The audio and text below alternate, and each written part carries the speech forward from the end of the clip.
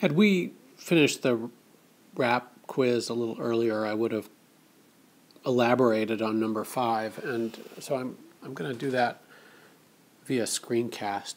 So um, I don't know that many groups had problems with this one, but I, I want to use it as a launching point to get at the basics of monopoly actions, decisions in, in our introductory economic framework. So um, this question, which, which one is true? The invisible hand leads monopoly market outcomes to be allocatively and productively efficient? No, they're inefficient for reasons we'll talk at some length about. Uh, the profit maximizing output rule produce where marginal revenue equals marginal cost is the same for perfectly competitive firms and monopolies. As I mentioned in class, that one's true, and I'm going to come back to that. Um, just as we did when analyzing perfectly competitive firms, we must, must analyze uh, monopoly perceived demand as different from market demand. That's quite false too. Now that there's only one producer for the whole market, we can map firm uh, level cost and output decisions in the same framework as uh, the market demand. So let, us explore that a little bit via this in, in this screencast. So let, us document that. So now the, the monopolist faces the entirety of market demand. And market demand is downward sloping law of demand. And let's just say that um, the monopoly marginal cost function looks like the marginal cost function of firms we've studied all along. And that, you know, that's fair enough. Um, all right, what's that, the, the marginal cost tells us the, the cost of producing one more unit. But the, the key question here is what's the benefit of producing one more unit? And the benefit of producing one more unit is the marginal revenue associated with producing one more unit. And the, the marginal revenue for a monopolist is not the market price. For a perfectly competitive firm, it was the market price. You produce one more unit of output, you get the market price for it. You're so small that market price is not depressed at all. Okay, but it, that's not the case for the monopolist. The monopolist faces this downward sloping demand curve, and the monopolist knows that it, that it has to um, reduce price if it's going to sell more units of output. And that, that means that anytime the monopolist increases output, there's going to be some new items sold, and that's going to bring in new revenues.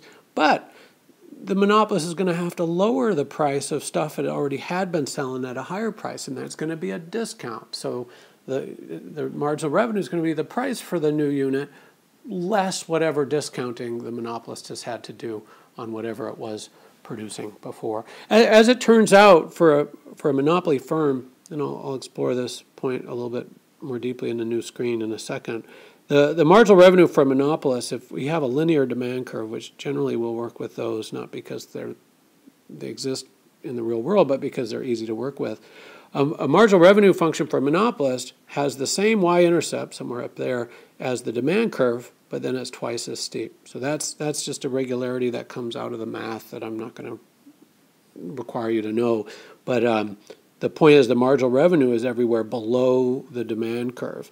And notice that the distance between the demand and the marginal revenue grows as output grows. And that's simply there's more product to discount as we produce more.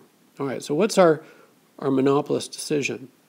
Well, notice that early on it costs $2 to make an, a unit of output that the firm could get. The, remember the benefit, the marginal revenue, the change of revenue that results from producing one more unit, could get $8 for. Well, that's a good deal, right? So we'll increase output as long as marginal revenue is greater than marginal cost. Even if it's if I get $2.50 uh, by spending $2.40, well, that's still a good deal, right? If I, I got to produce a lot of output, but I'm going to increase profits when I do. Remember, we're talking about all relevant economic costs.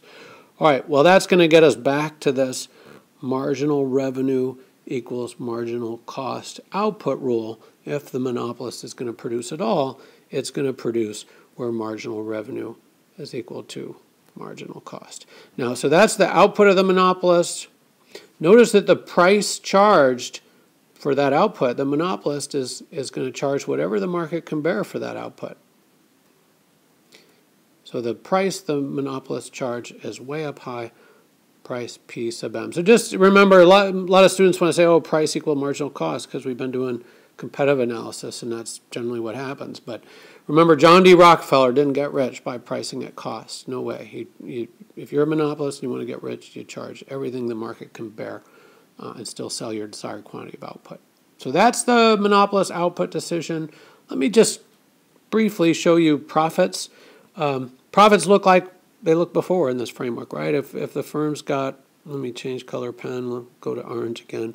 If the firm has, has this average cost function of the usual shape, well, profits, again, average profit is dif difference between price and average cost at that level of output. If we want to know, that's average profit. If we want to know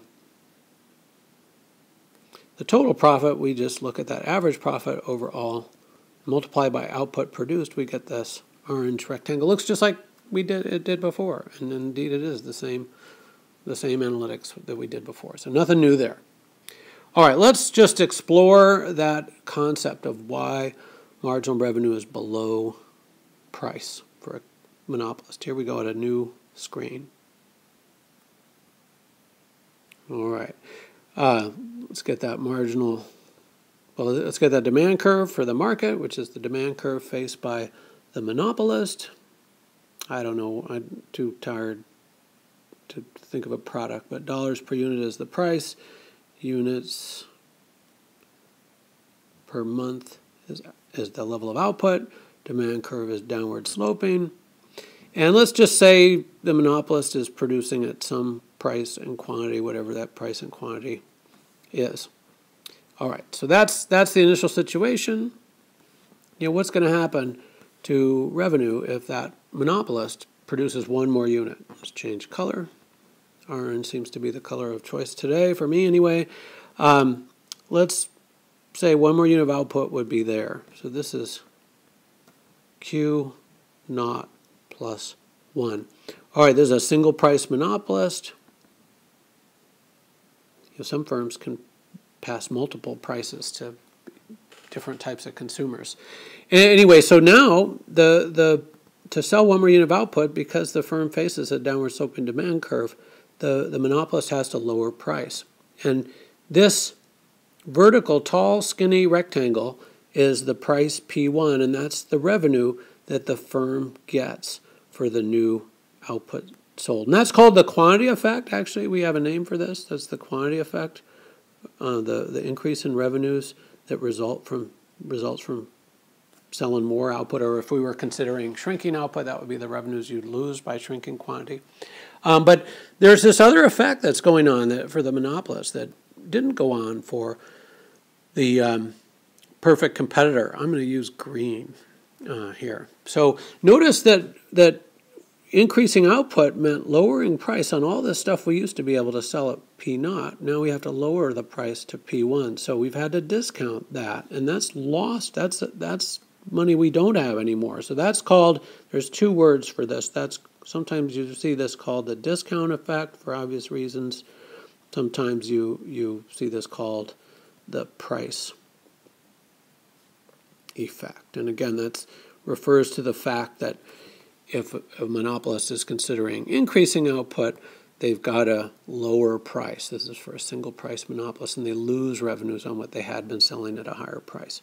Similarly, if a monopolist is thinking about reducing output, yeah, they give up this revenue associated with the quantity they're not producing anymore, but they gain back. They don't have to discount anymore as heavily because they, they're producing less. So that's why marginal revenue is less than price. The quantity effect is the price of the new unit sold but we have to subtract off this discount effect to get marginal revenue.